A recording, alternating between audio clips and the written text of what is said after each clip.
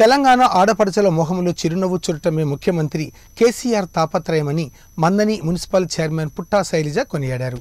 తెలంగాణలో సద్దుల బతుకమ్మ సందర్భంగా పెద్దపల్లి జిల్లా మందనీలు ఏర్పాటు చేసిన చీరాల పంపిణీలో భాగంగా పుట్టా శైలజ మాట్లాడుతూ తెలంగాణలో ప్రతిష్టాత్మకంగా నిర్వహించే సద్దుల బతుకమ్మ పండుగ సందర్భంగా తెలంగాణలోని ప్రతి ఆడపడుచుకి పసుపు కుంకుమ లాగే బతుకమ్మ చీరలు అందజేస్తున్నారని చెప్పారు. అన్ని వర్గాలకు మేలు చేసేందుకు ఎంతగానో పరితపిస్తున్నారని అన్నారు.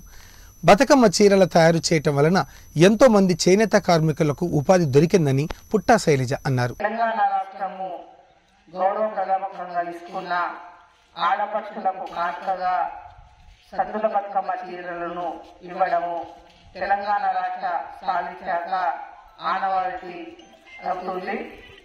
ప్రతి అక్క చెల్లెళ్ళు వారి ముఖంలో చిరునవ్వు చూడడానికి గౌరవ మన ప్రియతమ ముఖ్యమంత్రి వర్యులు కల్వకుంట్ల చంద్రశేఖర్ గారు పసుపు కుంకుమ కింద ఈ చీరల పంపిణీ చేయడం జరుగుతుంది.